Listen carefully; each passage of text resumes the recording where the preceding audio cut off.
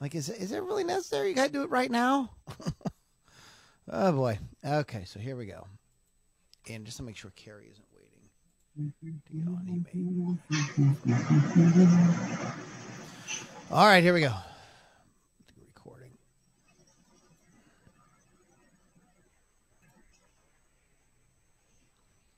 Welcome back, everybody, to the Ludini Rock and Roll Circus Musicians Mastermind.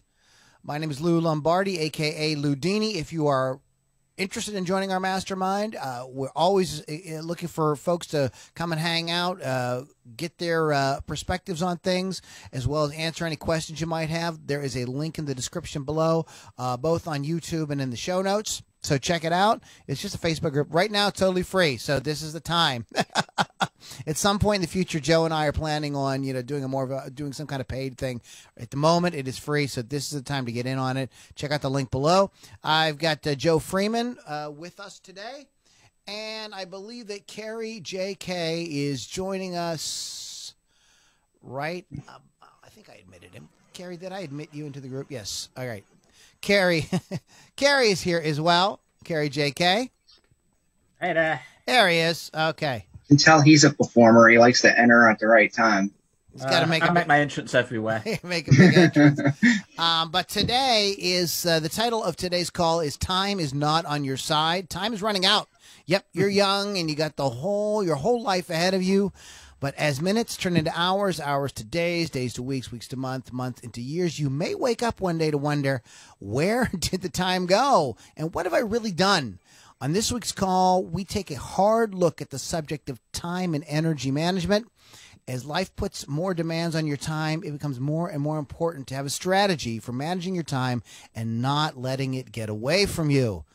So, a little bit of a could be kind of a serious topic today. It's important though, so we want to we want to talk about it. Um, and I, I'm going to start by saying I think the one of the biggest holdups for folks uh, is to not start. Just start.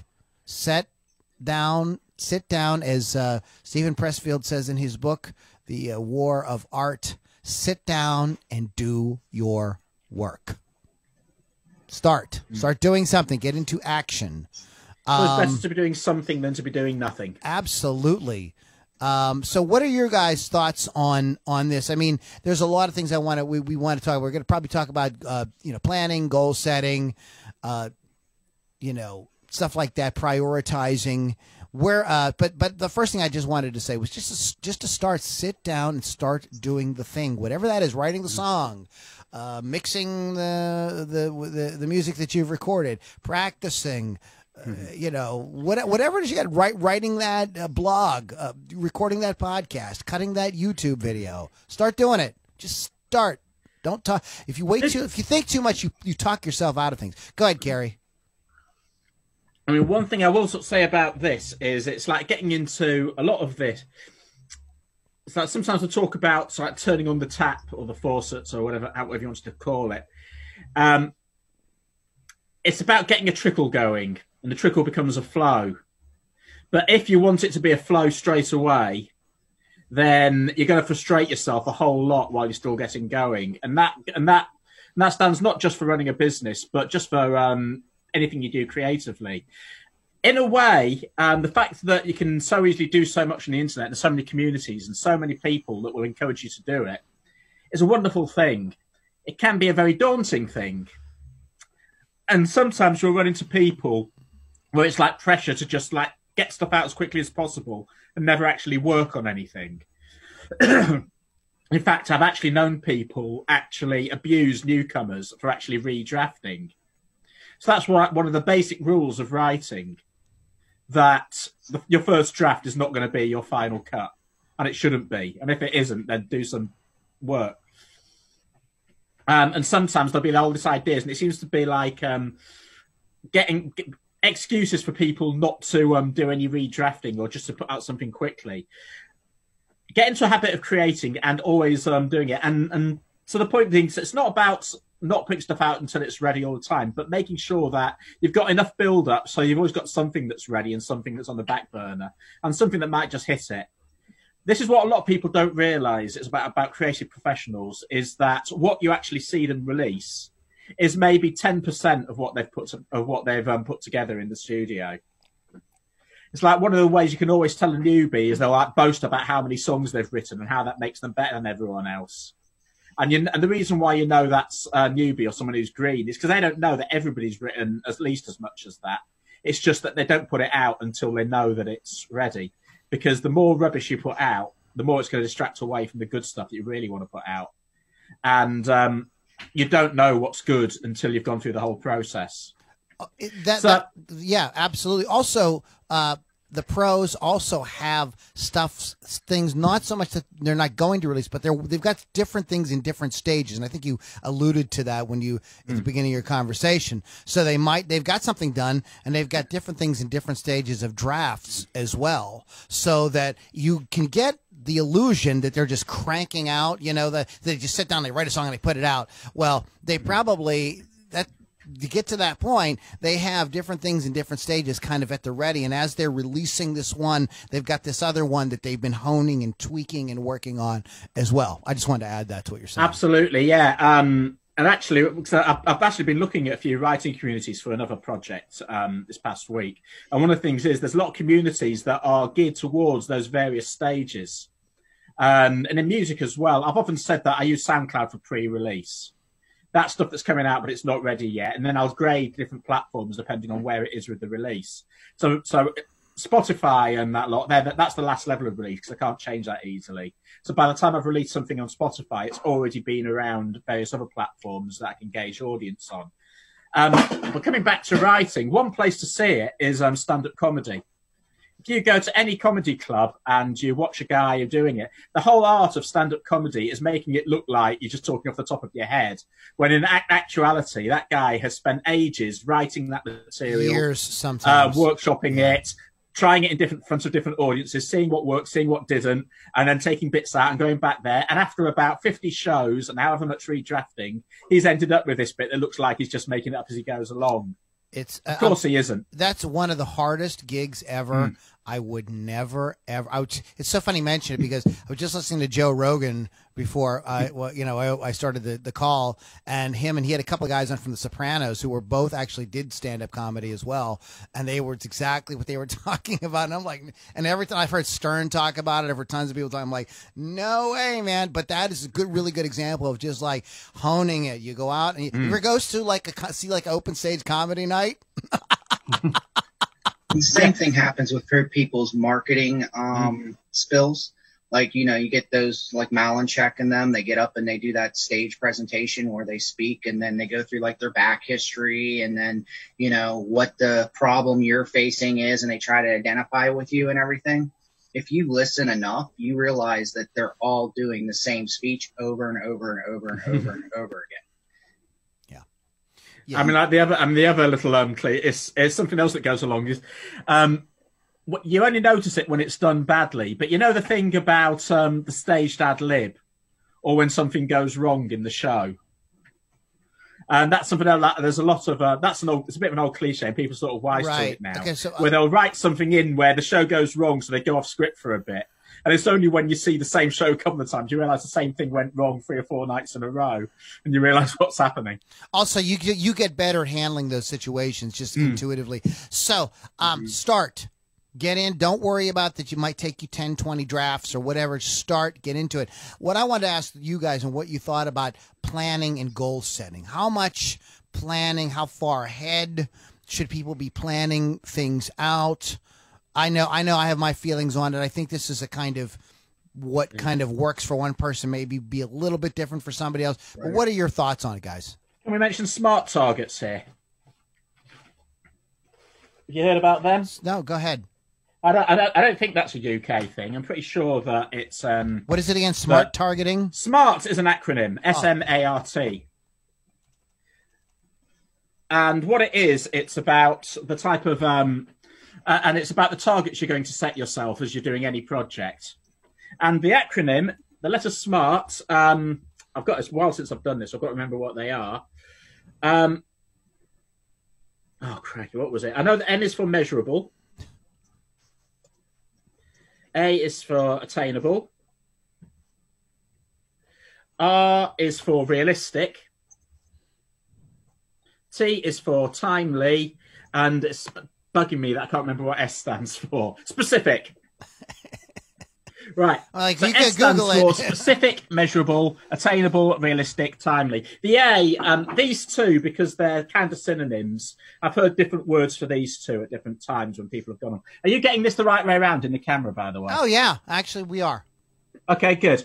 Um, so the idea is that if you just go into any projects and just have a woolly goal, and you don't know vaguely what it is, but you might get it, you might not, but it won't be organised, and you won't really know if you've done it. And also, the chances of you petering out are pretty much dependent on how much you like doing whatever it is. Um, so this is about nailing down exactly what it is you're trying to accomplish and exactly how it is you're going to do it. Um, so when you're setting your targets, specific means you need to know exactly what it is you're going to do. Not just I'm going to sell records. I'm going to sell this record to these people.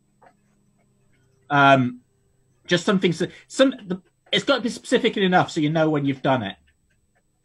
That's basically what it is. These are all. Um, we'll get to like sort of short and medium term later. Measurable is the same thing. Um, it means ideally, if it's something you can measure with numbers, that's brilliant. And um, certainly, I've heard, um, a lot of the examples I've seen in project management business studies love ones that you can measure with numbers and statistics. So it could be, I am going to sell 50 copies of this record, which isn't a lot.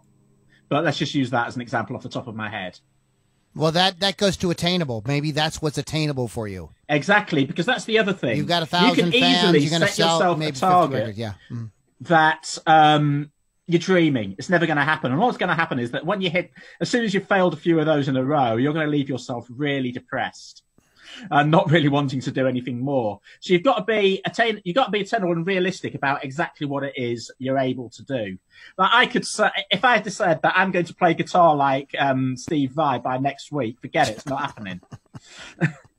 I mean, like that's that is an unrealistic target, and it's certainly not attainable. Um, I, I think that I think the difference between realistic and attainable. Realistic is partly sort of seeing who you are and how much time you're going to be able to put together it, whereas attainable means physically attainable. So it means having the resources.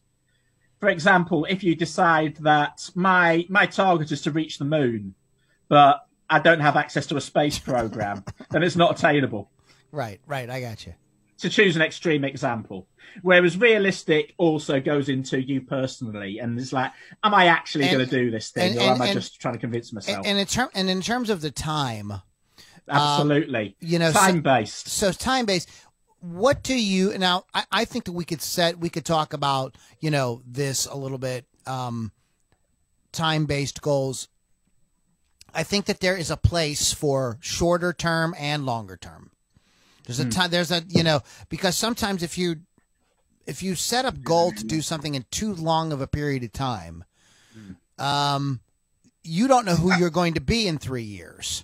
See, you know don't what I mean? You may you may have I may say that you know I want to you know have the top you know heavy metal album or whatever, but maybe after a year and a half I go like I'm burnt out on that, and now I'm a I'm now I'm like want to go for like Americana sound or country or something. So you don't. So so I, I so I think that you have to. There's a place for long and there's a place for short, and there, they have they have slightly different um, things. Go ahead, Joe. Joe wants to say something.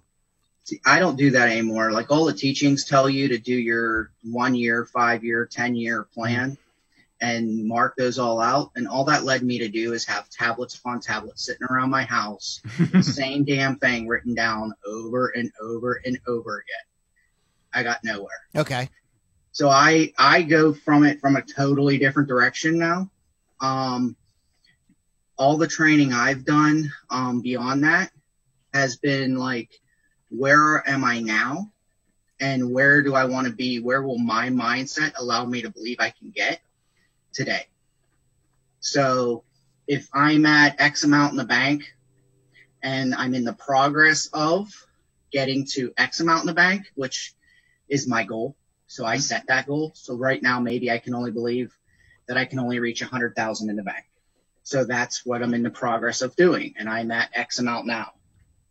And so I keep that measurement of all the cash flow I have where I'm at now, where I want to get, and I accept it, internalize it, and say, okay, I'm in the progress of getting here. I'm here. I need to work today on X amount of things. So then I move to, well, what are those things? And I have systems set up to figure out what those things are based on the number of calls I have, the number of clients I have, the number of projects I have to do. I have all these little, where am I now? Where do I want to be? And then what do I need to do to get there? And those things do adjust, but I have, um, an, a software. It's really an electronic list of things that I'm going to do to get there today.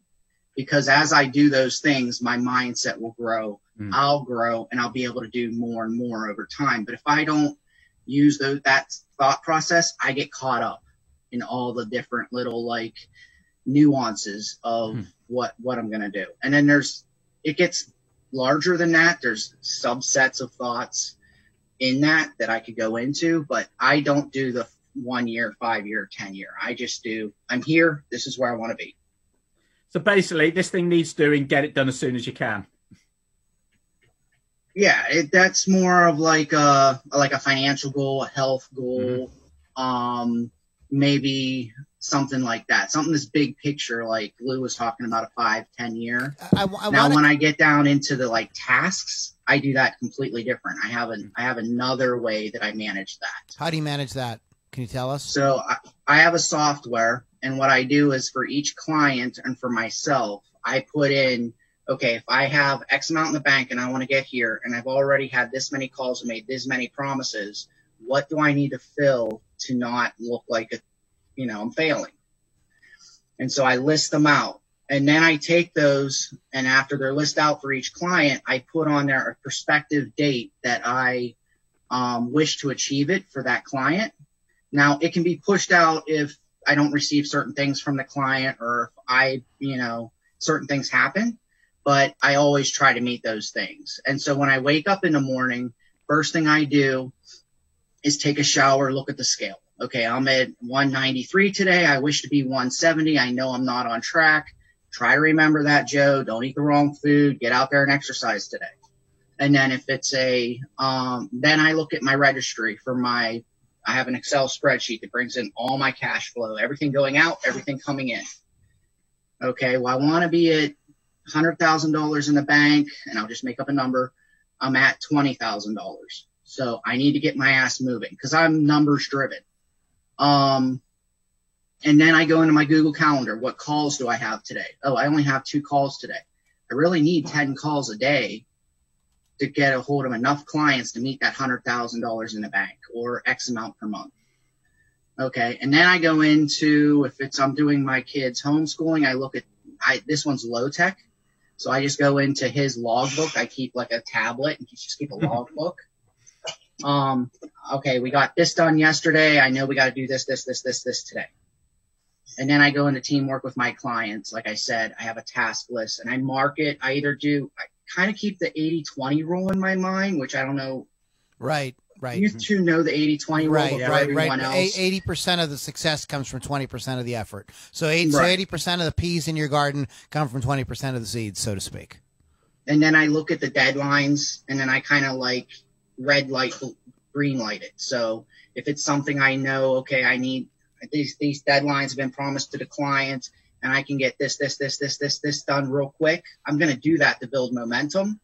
And then I'm going to pick the next things and pick the next things and get as much done as I can. what, what, what, I'm hearing you, what I'm hearing you say, um, is something that you, you mentioned James Malinchak, and I saw him do this. I believe it was him, um, at a, uh, at a talk where he had, um, and maybe this was somebody else, Joe, but I, I thought it was him.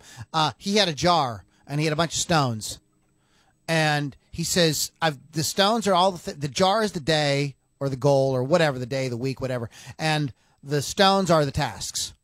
Mm-hmm. And so first he put on all the big stones. He's, "I'll get the big things out of the way." Then I'll put didn't fit. Then he said, "Well, I'll get the little things out of the way. Then I'll do the big things." Didn't fit. And then what he ended up doing was peppering in the little things around the big things. So what I'm hearing you kind of say is that like you know, if you're going down this road, uh oh, there's a snag. I got something over here that I can kind of work on to kind of still keep moving me towards where I want to go. I don't have to get hung up on the fact that, uh, shit, I'm waiting for Lou to send me those videos. He hasn't sent them to me yet. Okay, but I can go over here and I can tweak this thing while he's while I'm waiting on him to get his his stuff together. Yeah, So it's continuous momentum and getting done whatever you can get done at that time. And sometimes, you know, it you may think you're going to go down this road and you're like, Ugh, keep getting caught up. If you start feeling that pressure, it's the path of least resistance. So if you start start feeling pressure and you know you're getting caught up in your your reptilian brain saying Mhm. just quit, just quit, just quit, change your focus, change to something else. There's something else you can be doing. I mean, and, and as musicians, there's a lot uh, that we can be doing. I mean, th- this is uh, like I just give an example with my band. We have uh, we've been I've been trying to get right as a band with these guys because I love something I miss doing everything on my own was the camaraderie and the feeling. I love the fact that they feel ownership in the music as well. It creates like a you know they they're way more excited now about playing as opposed to me coming saying, okay, here's the song, here's the song, learn these parts, learn these parts. They feel like they can do their own thing with them. Uh, however, it is a little slower because we're working stuff out at the our weekly rehearsals and it takes a little bit of time. So what I'm trying to find myself is like, what can I do around that? Okay, so that's like the big stone. Okay, but there are little things I can do. Can I start coming up with lyric ideas or melody ideas like in between based on what we worked on? Can I come up with some other ideas for different sections of the songs that I can present to them and they can say, that's great or that sucks. We're not going to, you know, we want to do this and not that or to kind of inspire them.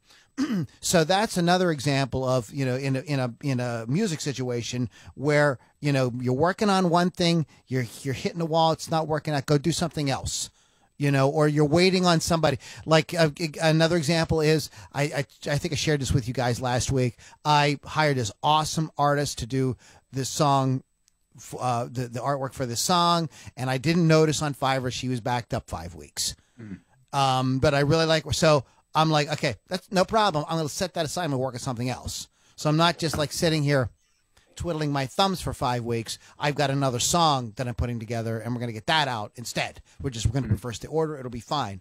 Um, so being able to kind of like shift around. There's a there's a uh, I can't remember if it was Bob Kiyosaki or one of those big like you know motivational you know, rich dad, poor dad guys uh, who says something like, "You don't want to like be climbing the ladder of success your whole life only to find out it's leaned up against the wrong building. You want, you've got to be able to shift on your feet. You've got to be able. To." Joe, that's a great. Um, ladder I love the way you you put that. That's a great way to kind of like move around. You know, we're still going on our goal, but sometimes we got to like, oh, this ain't working. Let's grab this real quick until this kind of settles down or whatever. And I think a lot of people make you feel bad because they're like, you know, we all have the same 24 hours in the day. Why can't you get your mm-hmm. stuff done? Well, some, And yeah, sorry, carry on. I want to. I And want what to I- address that. what- Good.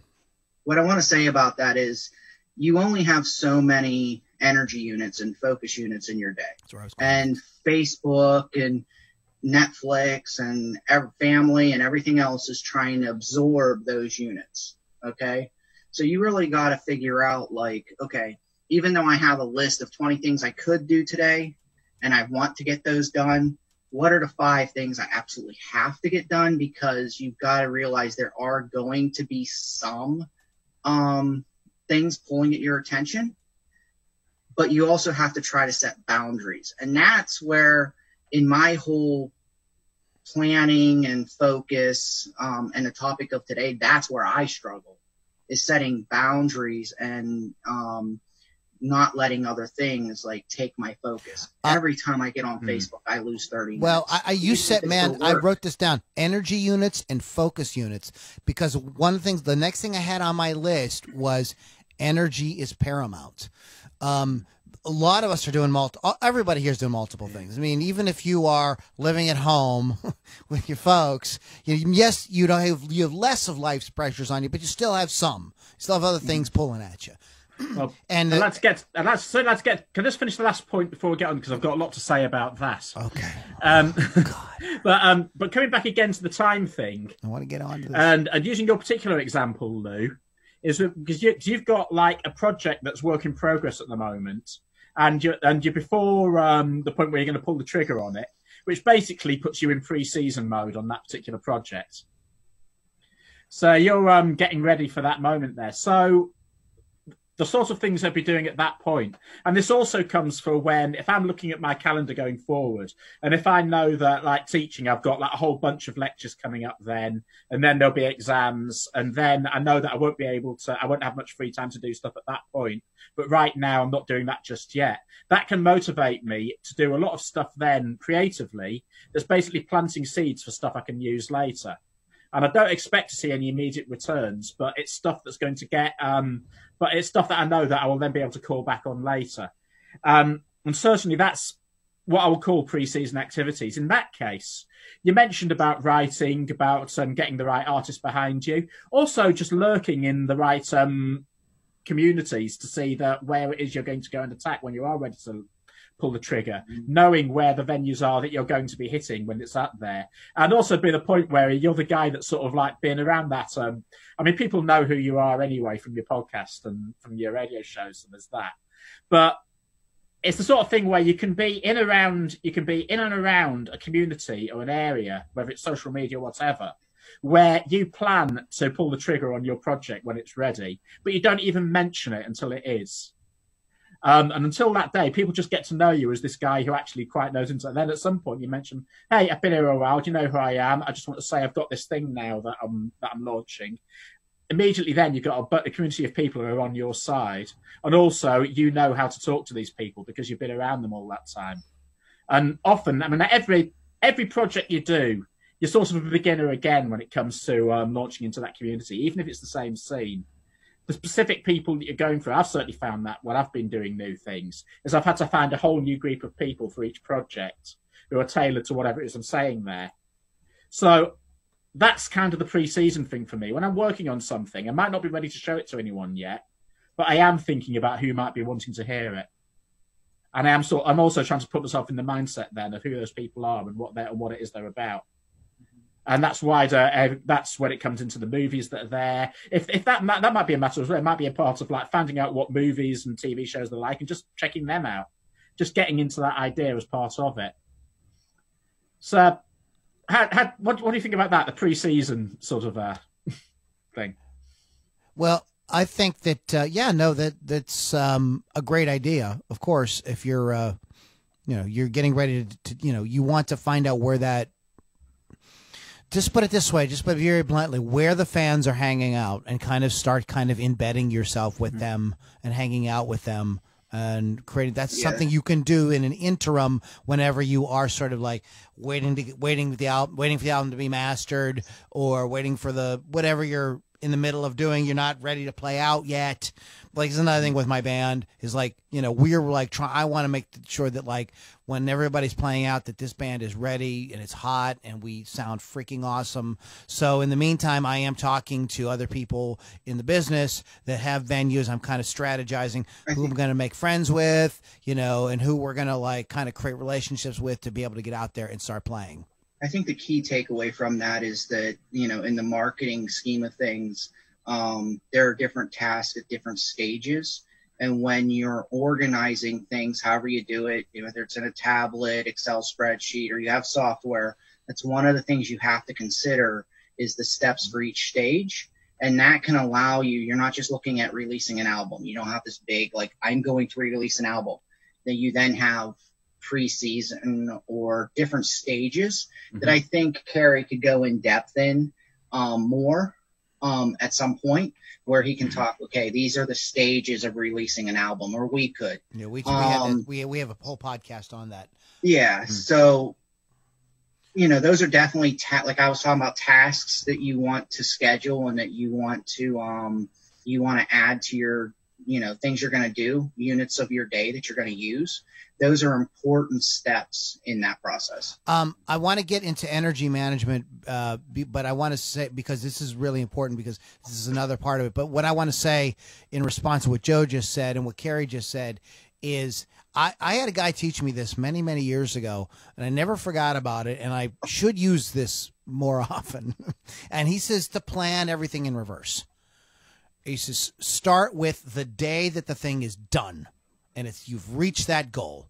Okay, what happened the day before, and write that down. And what happened the day before that? Or the, you know, what was the step right before that? Not necessarily the day, but what was, and then what was the step right before that? And, and go, uh, working all the way back to where you are right now. Um, I think that that I, I think it's very wise. It is not all, and he he did uh, qualify what he's saying by saying like even if you don't know what all the steps are, that's okay. You'll, you'll, you're, there's going to be some goals. You know, we've all seen the thing on social media, and I'm going to make a uh, thing with my hand. And if you're listening, you won't be able to see it. Where you know what people think goal setting looks like, and it is a straight line from you know the bottom of the screen to the top of the screen. And what it actually looks like is like a zigzag, and sometimes turning around and going back and refiguring things out and going to, to get to where you want to go. But with that in mind, set start at the end and start to plan your way back. Yes, you're going to make missteps. Yes, you're going to go like, oh, that didn't quite work out the way I wanted it to. So I got to, you know, I have to think on my feet a little bit, like we talked a little bit earlier. But I think that it's a, it, uh, it's a, uh, it's a good way of doing it. There, and the other thing I want to say about the whole thing with goal setting, whatever you decide to do, set goals. Whether you decide to do it the way Carrie was talking about, or the way Joe was talking about, the way I'm mentioning it, there's no like right way, but set the goal and start thinking about start thinking about what the steps are that you're going to have to take to get there. It's important to know to have some idea of the steps, right, guys? You can't just Yeah. be like, I'm gonna make, I want to, you know, I want to make a million dollars and not have to pay any taxes. Well, how do you do that? And- well, first get a million dollars, then don't pay any taxes. you know, it's like, you know, you have to have some idea what the steps are going to be, right? Uh, and remember that you're you're driving a ship here, not a speedboat. Yeah. Yeah, so So- if you're if you're in the progress of completing an album, okay, you know you want to complete an album, but you don't know all the steps. And you're like, okay, well, I'd like to complete that album by such and such a date. Okay, well, if I'd like to complete that album by such and such a date, what are the steps I know I have to do? Okay, write those down. I want to have each step done by this time, then just start. Because, like Lou said, the path to success and completing any project is a success. No matter what the results you get, it's a success because you've completed a project. Yeah. And, and don't, and don't be too, Going like this around and, oh, I got to push this one out because I need this and I didn't know it. Okay, well, do that. that happens. Yeah. and then keep Every- going. That happens to the mo. That I mean, like you look at the like the big, you know, the giants, the captains of industry or whatever. They will tell you the same thing. They set out to do something and then they had to go back and turn around and stop hmm. and you know go sideways and oops, I didn't realize I needed this. You don't know, but if you don't start, you know, if you have, what's the Martin Luther King Jr. said something really great one time. He said, "You don't have to know all the steps." just start. Just take the first step. You hmm. don't. What does he say? Oh, you don't have to see the whole staircase. Just take the first step. So take the steps. Do the best you can. You're going to stumble. You're going to make mistakes. Shit happens. But keep going. Um, but I want to get back to something that Joe said uh, a couple of minutes ago, and I, I loved this. You said energy units and focus units which is something that like they're not exact. This is going to sound. I don't want to get too woo woo about this uh, type of stuff. Uh, because you can't, I don't know how we me- actually me- literally me- measure an energy unit or a focus unit, but they're tr- it's true. I don't know how you actually come down to what an energy unit is or a focus unit is. Um, technically, ca- a calorie is a unit of energy, but that's a different subject. Um, but you only have so much to give every day, every week. That's you only got so much, and so I want I want to kind of put a couple of things out here. A lot of us are the day job is a fact of life at the moment. Okay. And maybe it will always be. Maybe you're not like, maybe you just want to like create a good fan base and sell some records and, you know, have your music have some kind of impact. You're not necessarily looking to make it a full time income. That's fine too. Um, but you have, uh, you do not want to allow, um, other things to rob your energy. So when stuff goes side, other things are kind of going sideways in your life and you're frustrated or whatever, be cognizant of what that's doing to your energy because what can happen is you can have you can allow yourself to get caught up in so much stress about day-to-day stuff that you don't have the energy to do the, the, the stuff to work um, on your on, on your musical goals. I the same guy that taught talk, taught me about planning from the end also said do not allow uh, short term problems to dictate to your long term goals. So, you know, the kids, I couldn't get the kids on the school bus this morning. We don't, we're not, nobody's going to school right now, but just as an example. And I'm like really mad and I'm frustrated, you know what I mean? And I'm okay. So allowing that to kind of like rob all your energy. So before 10 o'clock in the morning, now you're burnt out, right? You know what I mean? You're like, you're pissed off. You don't, you know what I mean? You know, okay. So be cognizant of stuff like that because what do you think that's going to do when you want to sit down and you want to write write music or uh, you know sit down and, and, and, write your blog or record your podcast or whatever it's just a total suck on your um, on your energy that's just one example i think you guys have some comments on this so i'd like to say that it, to me it's about deliberate thinking so i'm going to use lou's example so john has to be homeschooled now because of covid-19 and even if next year comes around you know, he still has to be homeschooled because I'm not willing to take that risk. So I have to accept the fact that in from 8 a.m. till 3, 4 p.m., I need to be, you know, there and present with my son, you know, deliber- I, deliberately, I know that that's where I have to be. So instead of focusing on work and what I can't do that day, I have to be there in the moment with him. And then when it comes time for the end of that day to roll around, I've got to think, okay, is do I should I get stressed out and spend an hour or two on Facebook or Netflix trying to get over my stress of oh I didn't get anything done today for work? Or do I take him for a walk, decompress, give him something to do, and then get into it? Okay, now I know that I have one, two, three, four, five, six, seven, eight, nine, ten things I was going to do today. But because I only have four hours, I am going to do one, you know, one three and five because those are the things my clients need the most now to achieve their goals. And I need to meet those promises. And tomorrow's a new day. Like deliberately stay away from all the things that everybody's trying to pull you into, like Facebook and Netflix and TV and, you know, someone's calling me. They want me to run out and get them something from the store or whatever the case may be. And if it's not important, now I'm not saying ignore your friends and family, mm-hmm. but if it's not important and someone else can do it, just say, Hey, I'm sorry, but I have this other thing that I have to get done today and try to set boundaries. I suck at that. Like that's my hardest thing. But like if you think deliberately and you know where your ship's going, you know that you're going from point A to point B, and you can try to be in the moment and just pick the things that you know you have to do. Mm. Um, a- absolutely, and uh, try to avoid freakouts. I'm. This is my bad thing. I'm a hot-blooded Italian guy, and I, you know, I get angry and throw shit and stuff like that. And what ends up happening is like, yeah, that's a kind of a release in the moment. But what ends up happening is it actually robs me of my, um, uh, robs me of energy. So you know, okay, that bad thing happened. I didn't like that. I was upset. This person didn't, uh, you know, it, you know, carry out what I asked him to do.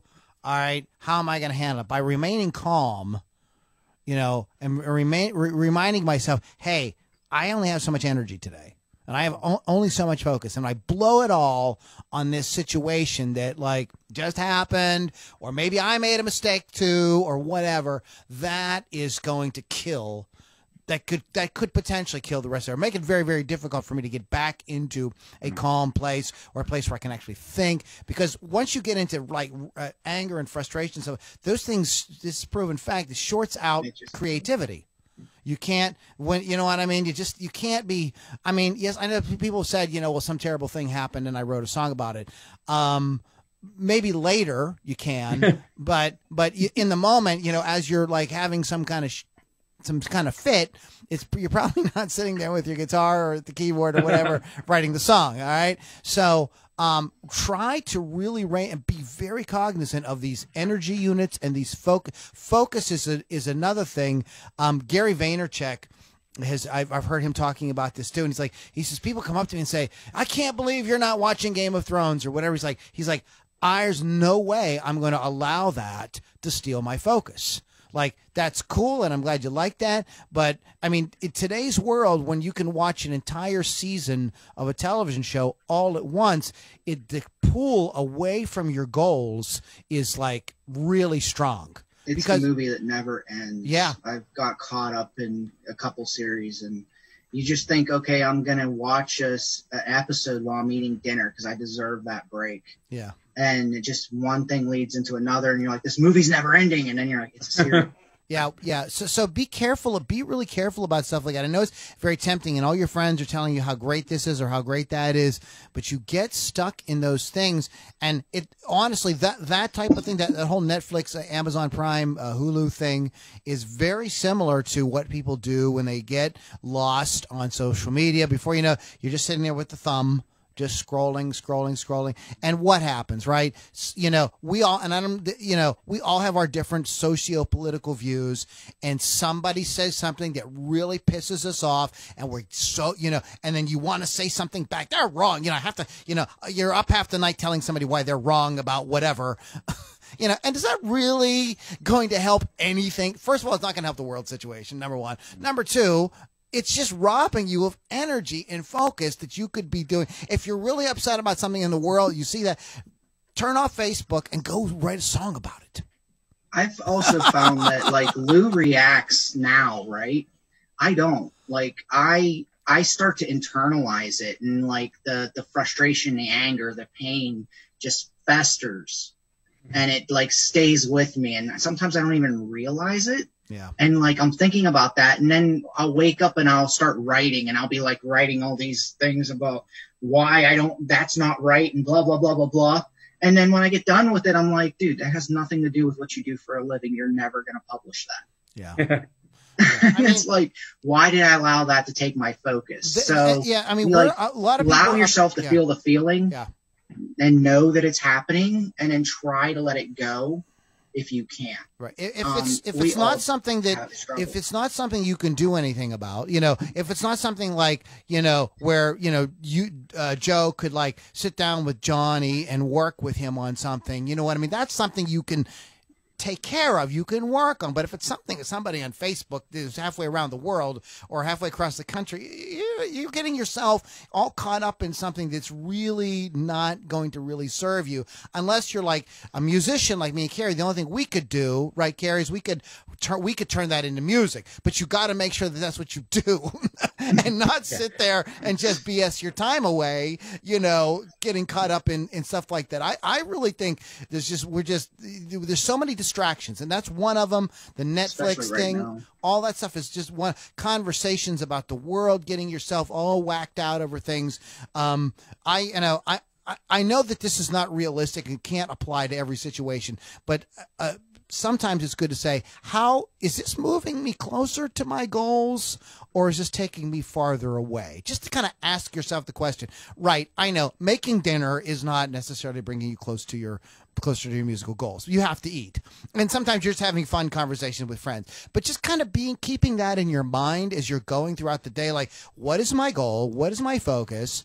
And is getting all angry about this situation is that really going to help me? Am is this just going to make me more tired later when I want to sit down and, and, and work on music or is this going to just like, you know, am I going to get my mind all caught up in something and then I'm not going to be able to focus?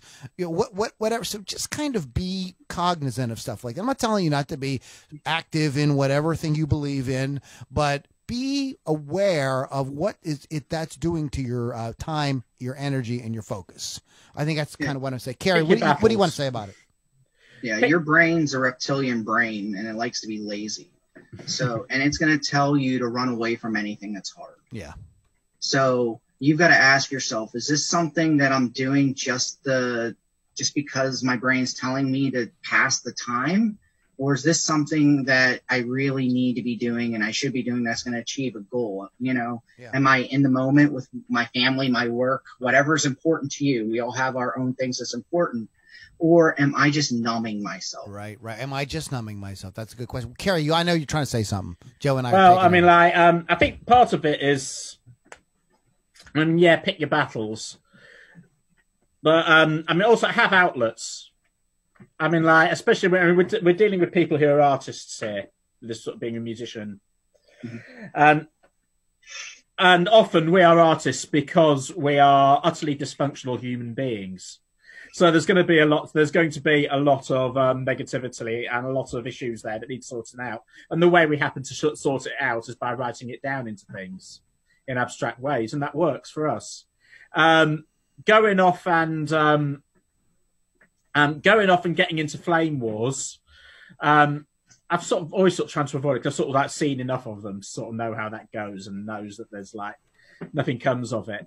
It's like there's time there's times to fight and there's times to say, you know what, you're not worth it and walking away. Um, Joe, you you're a martial arts guy. I don't know if you've ever done door work or spoken to anyone who's done door work. But like one of the things that people who do who, who have done will say, one of the things they always trained is that it's the bigger man who walks away, and the, the scrappers are the ones who think they've got to prove themselves constantly. Right. And that ultimately is destructive because every, I mean, what, I mean, the way I've the way I've lived my life, the way I've been around, I've been, I've, I think I've had to, I've never had to, I've never actually had to be in a fight. I've come close to being in one once, where I've had to be stand up ready to fight, and that then de-escalated. More often, I've just walked away from fights. And one of the reasons for that was when I've been in those situations, um, the sort of like the view in my mind has been, okay, so what happens here? This guy attacks me, I hit him back. What happens then? Either I go down or he goes down. If if I go down, then ouch. If he goes down, what happens then? Do I celebrate? No, he comes back with his mates maybe he goes to the police. Yeah, then you're in a maybe whole I lose my freedom. It's not or, the end of it. Or, and, and we have a point. very litigious society yeah. too, man. Like yeah. you get sued, like it's crazy. So. I Nobody mean, I, yeah, let's not get into yeah. stuff that's like going to take your. It definitely. No, please don't be going out and getting into physical altercations with people. Yeah, I've got to think that that's kind of implicit. well, you know, we but, are that, saying don't, rob, is don't, we don't learn lose your energy and focus. Don't have to. Yeah, yeah. But it was same thing as with arguments. The same thing is with, and I probably shouldn't say this, but you know, rioting and stuff like that. Like you go do those things. Those are distractions taking away from your power. And even if you're going out to get a message out, there's a better way. Like you know, it's the media and everybody convincing you to do things. Okay, I want to get off They're the taking subject. your power away Let, from you. I don't want to. I don't want to talk about. it. I want to turn into it because mm. that's it's a touchy subject and different people have different attitudes. Um, so what I'm what I think that uh, the next one thing that I have on my list and I think Joe kind of touched on and we kind of touched on with the energy thing was a, I, I call it a time diet. okay, where maybe yes. I like Game of Thrones or The Sopranos or whatever the hot new thing is. Okay. And I'm literally going to put myself on a time diet though. I'm, you know, while I'm eating my dinner, when dinner when I'm done, I literally turn it off.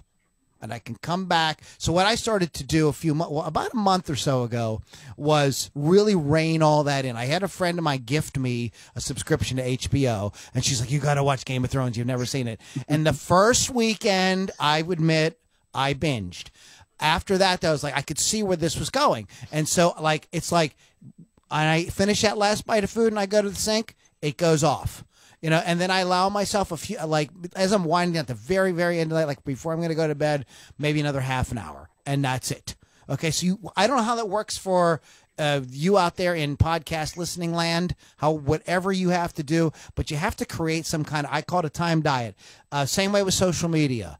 You know, you're only going to spend so much time jerking around on social media. If you like it, I mean, we should do things we enjoy doing. I mean, I, I think that like if all you, I had a, another mentor who used to say if like all you do is music and you don't do life, then mm-hmm. you don't, then your music doesn't really have any. Mm real soul to it. So you got to do life. You got to go out and get a girlfriend or a boyfriend or a relationship. You got to, you know, you know, do the family thing. You, you know what I mean? You got to go to the park. You got to do see movies. You have to get involved. You know, take up a whatever kind of hobbies you like. Whatever. Um, that's totally. That's very, we're not telling you not to live your life, but I just this idea of a sort of like time diet where I, you know, these super frivolous time sucking activities that you kind of like, like TV and social media, just kind of put yourself on a little bit of a restriction. You know, I, uh, I don't have it in front of me, but I carry around an actual kitchen timer. Oh, cool. Put the, put the kitchen, put a kitchen timer. Don't rely on your phone because it'll happen if you do your phone you'll start screwing around on Twitter or something. so you know, just get a timer if you have to or whatever. But however you have to do it, you don't have to be that strict about it. But however you have to do it, just gotta rein that in. You know, enjoy it, but rein it in. Make sense, guys? I, I use Alexa for my timer, and I do that for John's schooling and for some of my projects because I like to work an hour and a half and then give myself a 10 minute break just to stand up, you know, do a couple jump mm. jacks, whatever case may be. But I never thought of using it for like making sure that at the end of my dinner I didn't keep binging Supergirl. You know what I mean? whatever your thing is. Um, the other thing, nice example. The other thing, the other thing I want to talk about, and I, I think Carrie, Carrie and I can really relate to this. Um, and this is a really bad thing with, with especially with guitar players. Uh, maybe drummers and singers and uh, keyboard players maybe have the same issue, but this is really a bad thing for guitar players, and that is screwing around with music instead of actually doing any real music work. So I'll give you an example. You you you set up you you plug in your guitar and what do you start doing? You start twiddling around with the knobs. You start getting out different effects. You start just kind of like pissing around. You're just you're playing your favorite riffs you know? You're falling back into your metallica your nirvana your zeppelin whatever. And whoa stop this is i'm sure this is wildly entertaining for you I'm sure you're having a good time. But w- just because you have the guitar in your hand does not necessarily mean you're making any progress. Um, is this? Have you ever run into this, Carrie? Um, probably not so much because I, I, I did that long thing. ago. um, more often now when I do it, and also because I don't get to, um, because I've always got other things I've been doing. When I do sit down to play, it's something in mind and uh, anything that I do like that will then be on en route to what it, whatever it is I'm working on. I call it technical. That sort of thing. What you've just described, I call technical repertoire, and it's stuff that I'm practicing because it's going to lead on to something else that I'm going to use myself. Um, I won't just do it because I want to. Uh, also, I've, I've always been like being more creative than recreative. I sort of kind of did it. even even when I was learning, I wasn't that big on doing something exactly as it was on the record. I more wanted to take the essence of it and then just get enough to be able to take it in my own direction. That's what motivated me. I think if you're doing that, good. But when you're, but uh, I, and some of you out there, you know who you are, and I'm so I'm mm-hmm. preaching to myself because I do it. I have to rein myself. It's something I have to rein myself. I'm I'm coming across as very undisciplined today. I'm sorry, mm-hmm. um, I, it's one of those things, and it's I think it's very tempting um, for certain musicians. You, you know, I don't know if drummers run into this as well, but you just get caught up because you can play that thing so well, and it sounds so good, and you know, you just kind of want to sound good you that isn't really making you any progress. So be careful. I'm not going to harp on this. I've said it. Just be careful. Just be mindful that, like, stop. Okay, yeah, you you sat down here for 20 minutes and you played every Led Zeppelin riff you know. Stop. Wait a minute. you know, is this what are we doing here? You know, are you actually going to start a Led Zeppelin tribute band or something, or you know, are you just kind of entertaining yourself? So yeah. just be careful that you're not just doing stuff just to uh, just to kind of screw around with the, with the music. Um, and let's talk a little wee bit here at the end about prioritizing musical projects and activities. Mm-hmm. You know, wh- uh, how do how how should somebody think uh, uh, um, about that? I can just throw something out here at this. This is going to be a bit of a span in the works, but here's something counterintuitive, counterintuitive that I once did that actually increased my musical productivity. Love it. Let's hear it. And that was to buy a PlayStation. Now, whoa, whoa, yeah, whoa. if now, I, I, wish I had that that soundbite. Whoa, whoa, whoa, whoa, what? yeah. now here's why. Here's why I did that. I bought a PlayStation, and at the same time, I uninstalled all the games from my computer. I decided that anytime I'm gaming from now on, it's going to be on the PlayStation and not on my computer. And that was something I made myself do at that time. Now, the reason why I did that, I still wanted to, I still wanted to be games. I like playing games and also it was taking me in journeys and games were sort of inspiring some of what I was doing anyway. So that was part of um, how I was living life and consuming media. But I thought while I'm on my computer, when I switch on my computer in the morning and sit down at it, um, I'll probably end up working on it. But then at some point, I'll probably switch on Half Life or whatever it was playing at the time. And then I'd look at the clock and I spent four hours playing Half Life instead of doing work.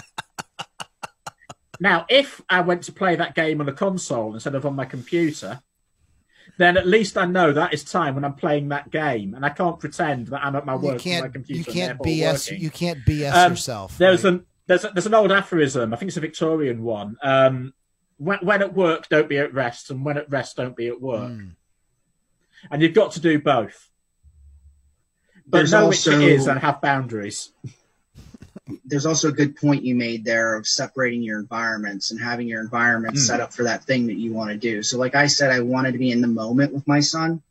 Um, you also want to separate your environment, and if your computer is where you do your work in your office when, or your music or whatever, you know, then uh, in there where the PlayStation is, you know, in your living room or wherever that is, is your place to decompress and relax and play the PlayStation. So then you can control your time in those places and do what those places were meant for you to do.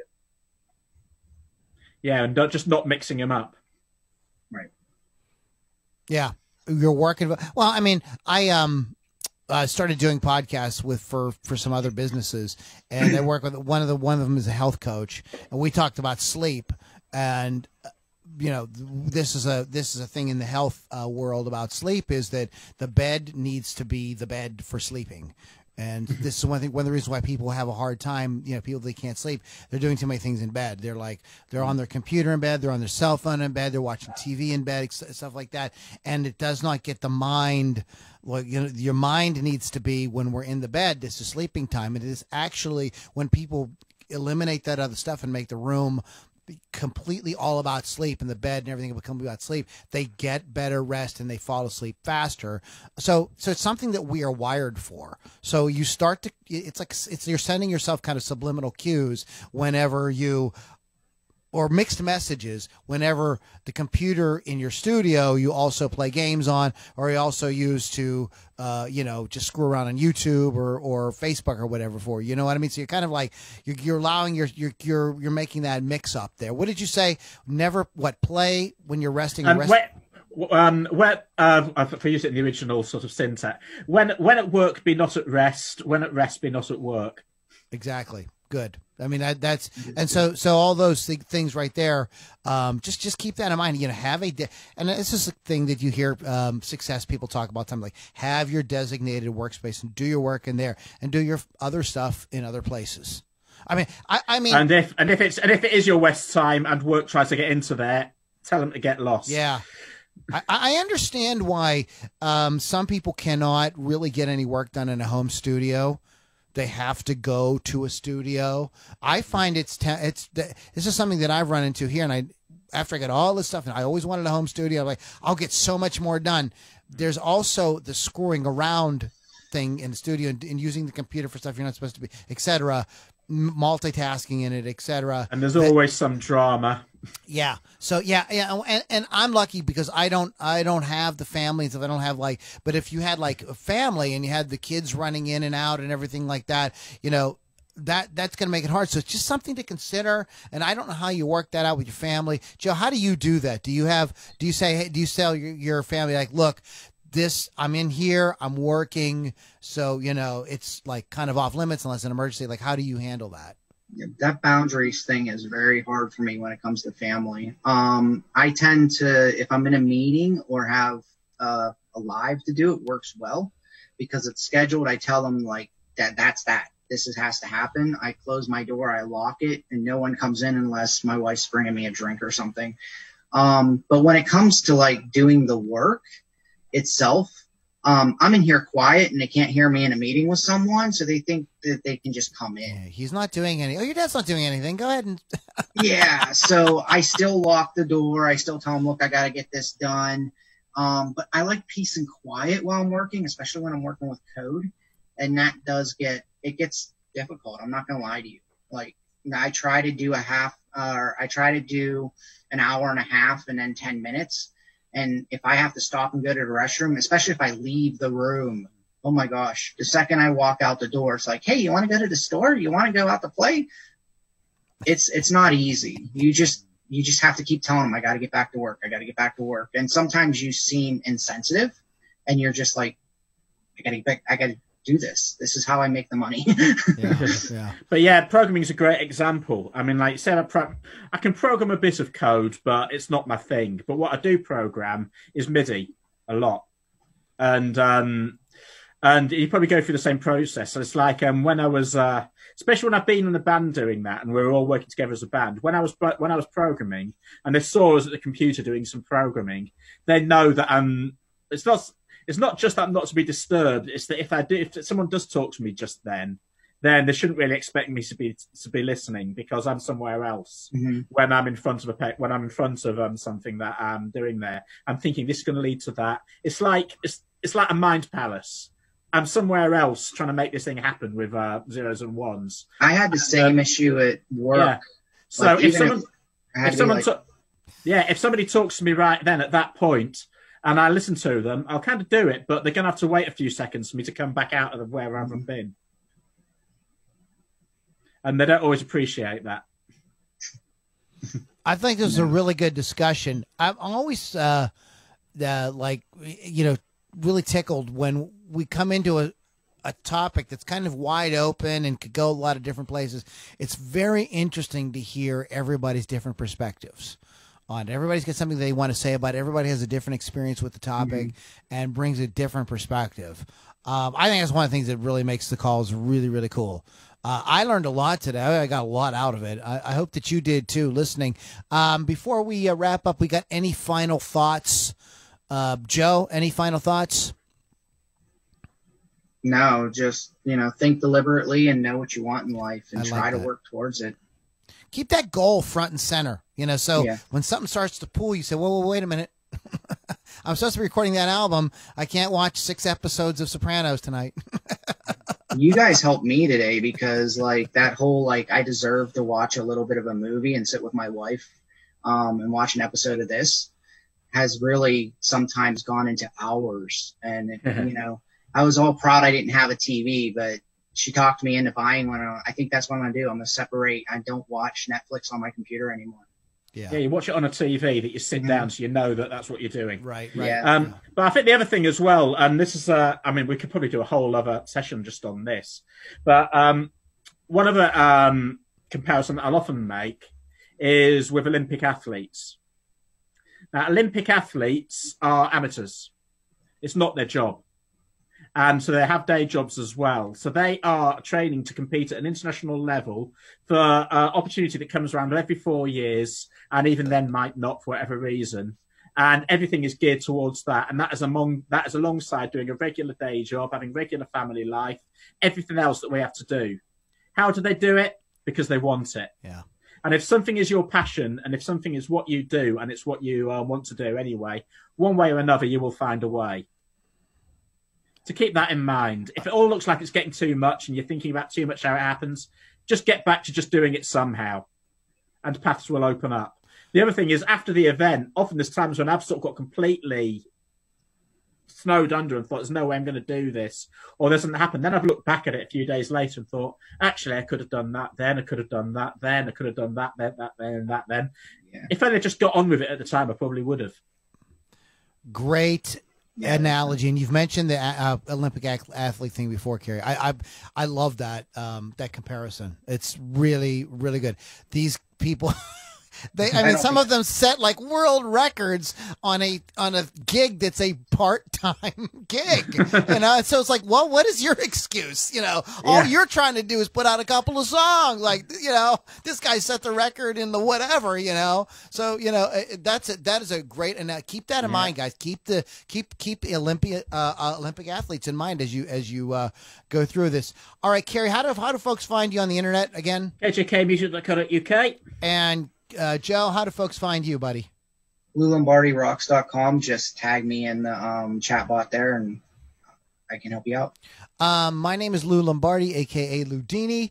Uh, you can find me as well at loulombardirocks.com. Uh, in the uh, notes and as well as on the YouTube uh, channel. The link to our mastermind group is there. We love uh, it's a really cool community, very supportive folks. Any questions or whatever you have throughout the week, there's a Facebook group. You you know, we'll uh, uh some of us will get back. One of us usually multiple people will get back to you and uh, help you out on any on any issues you're having uh, related, related to your music business. Guys, thanks for hanging out. We'll catch you all on the next Ludini Rock and Roll Circus Musicians Mastermind. Okay, cool. And goodbye, Facebook. End live video. That's it. Okay, I did. All right. And good night, YouTube.